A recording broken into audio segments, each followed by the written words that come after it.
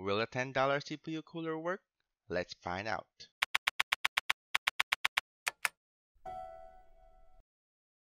Today, we will be looking at various CPU coolers with prices under $10 or 500 pesos. People have been recommending more mainstream coolers such as the Hyper 212 series, Hyper T4, and various AIOs. So this video was made to show whether cheap CPU coolers are effective or not. First, we have the Gamma Archer from Deepcool.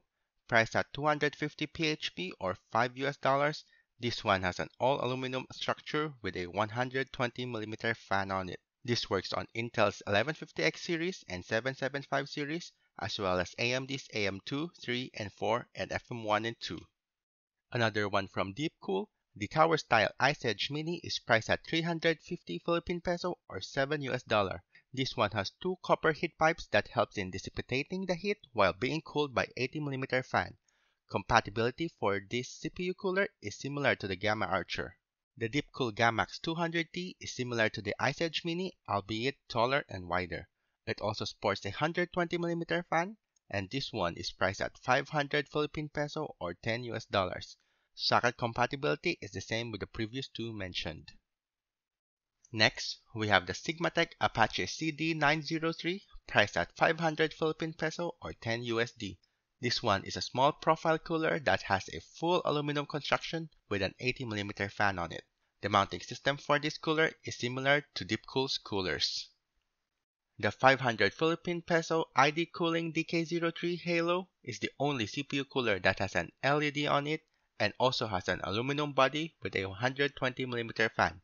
Unfortunately, this one only supports Intel 1150X motherboards and doesn't have any AMD support.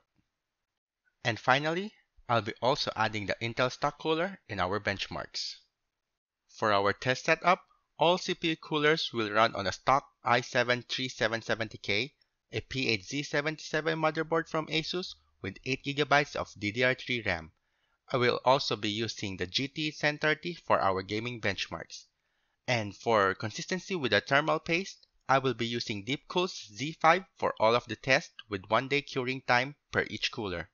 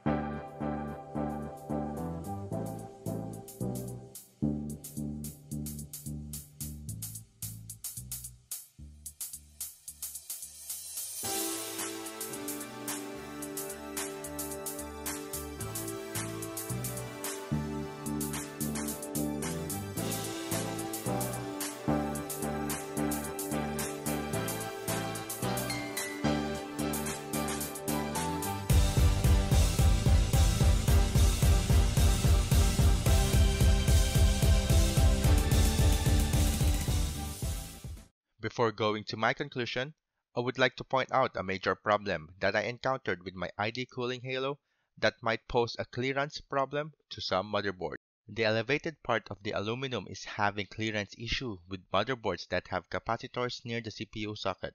I noticed it in my P8Z77 as well as in this H61 motherboard that I have. To sum it all up, not all sub $10 coolers are bad. Some perform better than the stock cooler while some are really just a waste of money. As for my recommendation, I recommend the Ice Edge Mini for being the cheapest that outperforms the stock cooler and the Gammaxx 200T for the best performer under $10. If you enjoyed this video, please hit the like button and don't forget to subscribe to my channel for more videos like this. Thank you and goodbye.